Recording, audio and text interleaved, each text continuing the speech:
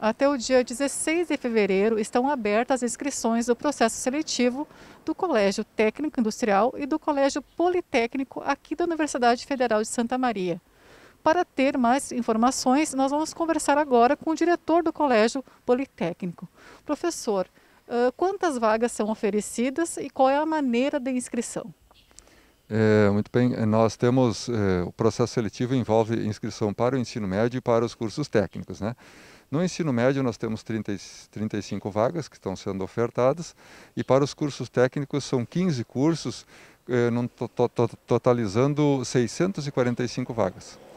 Sim. E a previsão é que as provas aconteçam de maneira presencial, em que época, ou depende muito de como vai evoluir a questão da pandemia? Exato. Neste momento que nós temos, então nós temos, está previsto aí a prova, né, é, para o ensino médio no dia, no dia 5 de março e para os cursos técnicos no dia 7 de março. Em havendo bandeira vermelha nesse dia, é, essas, é, essa prova será prorrogada para o próximo final de semana. Em permanecendo uh, essa, essa bandeira vermelha no próximo final de semana, aí teremos então a suspensão dessa prova presencial e aí faremos sorteio. Mas a gente acredita que é, não haverão duas bandeiras vermelhas seguidas aí, né, até março, acho que a gente está numa situação melhor aí. Tá, e acontecendo essas provas em março, que possivelmente aconteça, a previsão das aulas iniciais seria quando? É, nós não temos uma data definida ainda sobre a questão das, do início das aulas.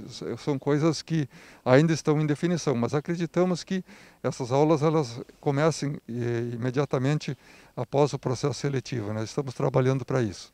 Tá bom, muito obrigada, professor. Nós lembramos então que as inscrições vão até dia 16 de fevereiro. Elas iniciaram na última sexta-feira, dia 15.